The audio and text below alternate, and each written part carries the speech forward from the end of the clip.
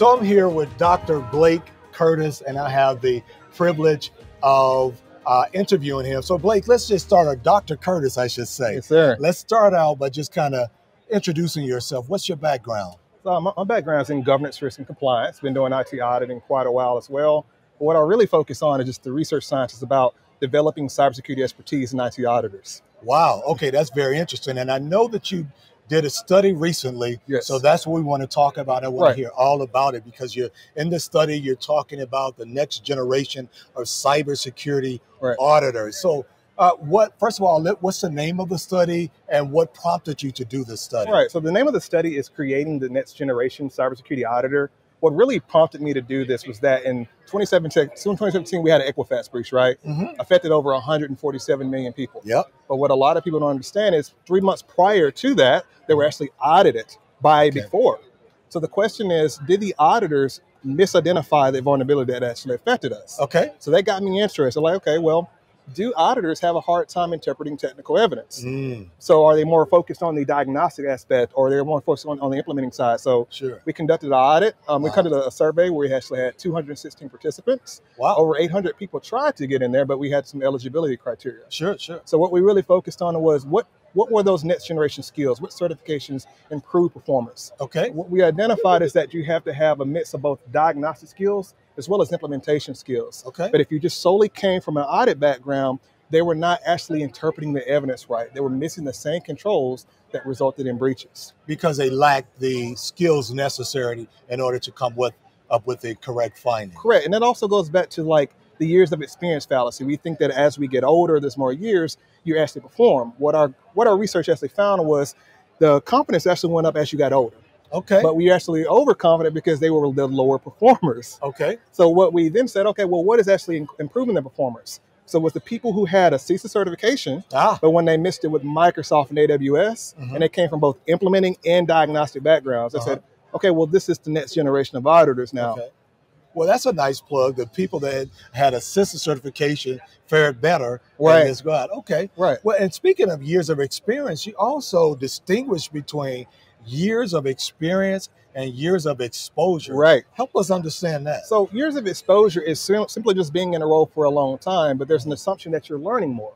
okay. You're actually like not learning more. Like if you think about when you were in high school and you went through 12th grade the first time, but there was Okay. a few other people who failed, right? Sure. By that definition, they're more experienced. Okay. But if you think about from a layman's term too, with people like in Amazon or Facebook, Mhm. have half the amount of experience as everybody else, but they're Mhm. performing better.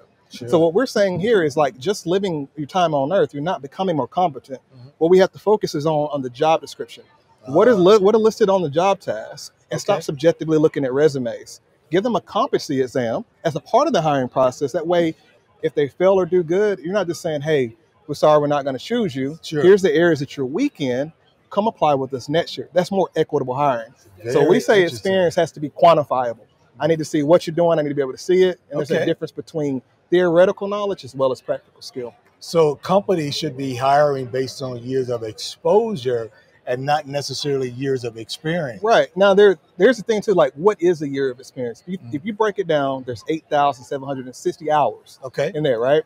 But the average person only has two thousand and eighty hours a year, hmm which is not even a quarter of experience. Yeah. It would take you four years to get one year of experience. Interesting. But even out of an eight-hour time span, most participants says, "Look, we only perform three or four hours with the task on our Mhm. job description. Yeah. So by that, you only have a thousand and eighty Sure. hours. So years of experience concept is actually not sustainable, and it's going to create a workforce gap if we keep subjectively looking at resumes and we keep prompting this because there's just no science behind it. And it, is that concept, in your opinion, only applies to the cybersecurity world, the IT world, or are you suggesting this is overall? This is going to apply to everything. If you think about people in engineering, NASA, and science, the way that they become certified is they have to see people do it, right? Mhm. We're in an unregulated profession, which Mhm. means that these certifications are not backed by state and federal regulation. Sure. Now, things like in engineering, health, health, as well as CPAs, they're backed by state and federal regulations. Sure.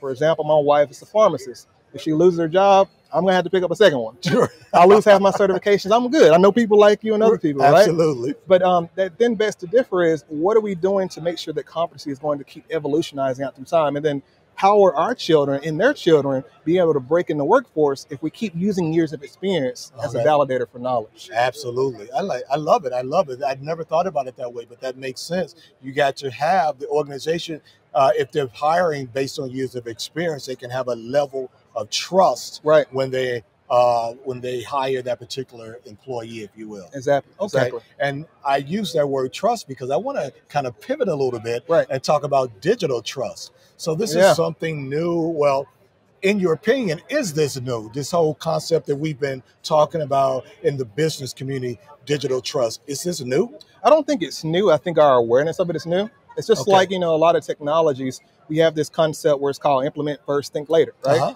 So we have a lot of tech, a lot of new technologies come across there, but we're not really thinking about the data as well as our consumers, the metadata. Sure. Are we connecting enough of it? Are we enforcing things based on that as Uh-huh. well? And I, I don't really think it's new, but we have to start pushing more to the left. Sure. Things privacy by design.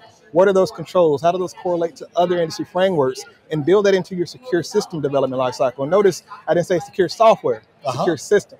Okay, explain that more. What, you- what what's the difference? So the difference there, you're mostly just focusing on applications, right? But with the emergence of technologies like Industry 4.0 and so forth, mm-hmm. you got artificial intelligence, you got mm-hmm. cognitive networks, you got IoT. Sure. Those typical things are not really included as software as a service or applications, right? Sure. So how are you going to build in controls? How are you going to develop an intake process to consider those, protect the enterprise, but also be transparent with the customer? Sure.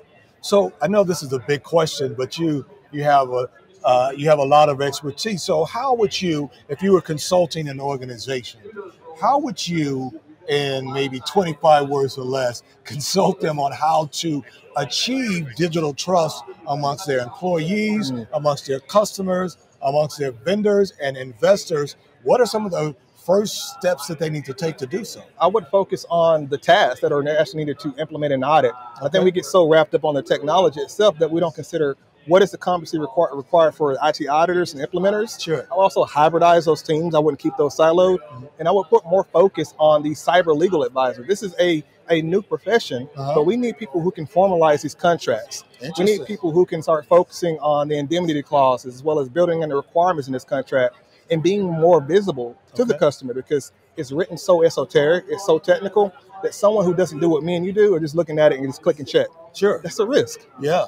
Yeah. Absolutely. Very interesting. Well, Dr. Curtis, I appreciate your time, your expertise. I don't think we had enough time here, so we have to do it again. But Right. uh, thank you for sharing your time and your expertise with the uh, ISACA world. So let's talk soon. Thank you. All right.